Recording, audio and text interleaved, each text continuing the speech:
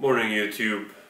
I woke up uh, just a little bit ago, was having breakfast and reading the news and the first thing I see it's another attack in France. A lot of people died in Nice at uh, Bastille Day yesterday night.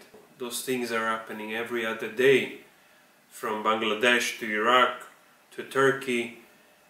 It, um, it leaves you speechless. It just leaves you speechless I never thought that in 2016 the world would look like this. It's like on a fast track to go back into the dark ages.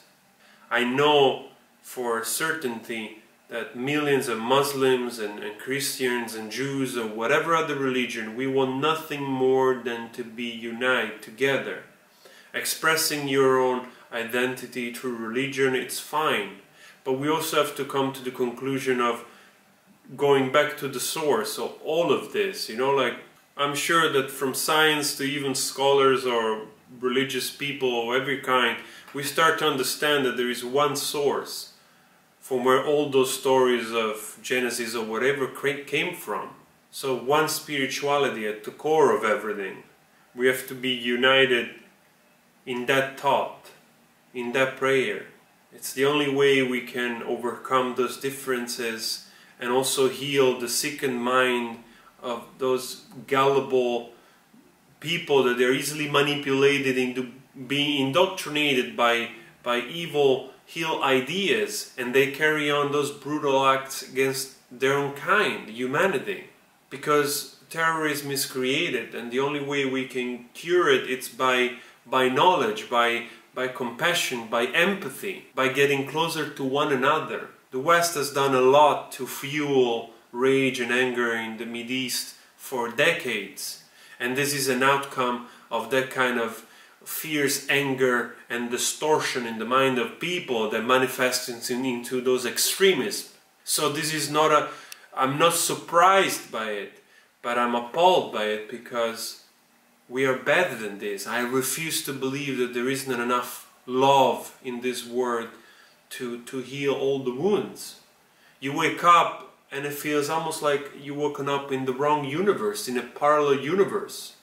Like some kind of, like Back to the Future 2 where Marty McFly just woke up in, in the wrong 1985, you know, where Buford Tannen was the ruler of everything and evil took over. It's, it's just that bizarre and, and, and feels like, how is this possible? Every other day an attempt, every other day some crazy person carries on like those incredible tragic acts against kids.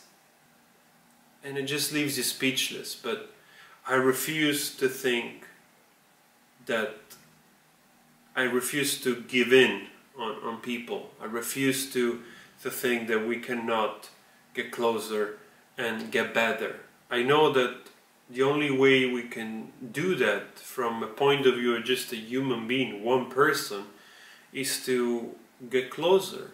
All those religions have to get closer spiritually. We cannot anymore justify this separation of beliefs. There must be a source where everything started from and we have to accept that. We cannot just believe that one story of Genesis is better than another and we keep fighting each other over those things. It's just not possible anymore.